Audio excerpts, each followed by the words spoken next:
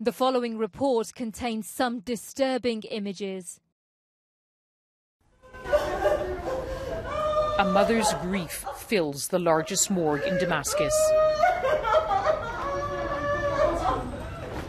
Samira's son Rafid drove the school bus. He died on the spot when the mortar landed. I don't recognize him, she wails. His face is gone. He has no eyes.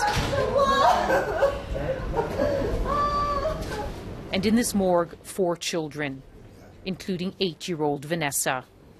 Her uncle Antun has come for her body. She was a pure angel, he says, in fourth grade. She loved school and cried when she couldn't go. Grief isn't private here anymore. Not when both sides accuse the other of taking the lives of the most innocent. Another uncle says his last goodbye.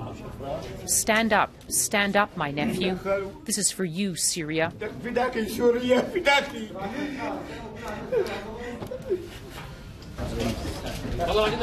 bring out the white coffins one by one. Vanessa makes her last trip to her Armenian church. This is one of Syria's many Christian faiths. They gather in the old city to celebrate her life in Arab tradition. This boy mourns his friend, supported by his mother, who's devastated, like so many here. What, what did they do to, to, to, to die like this? By some bums, dirty people.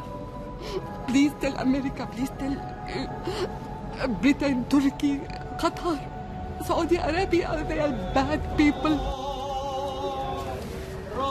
A community comes together again to mourn, but as grief grows, so does anger on both sides of this conflict, both sides blaming the other. So as this war drags on, it becomes ever more difficult to bring Syrians together again. Vanessa's coffin lies next to that of six-year-old Chovanis. There's some comfort in these rituals, but in the city now, nowhere feels safe. Lyse Doucet, BBC News, Damascus.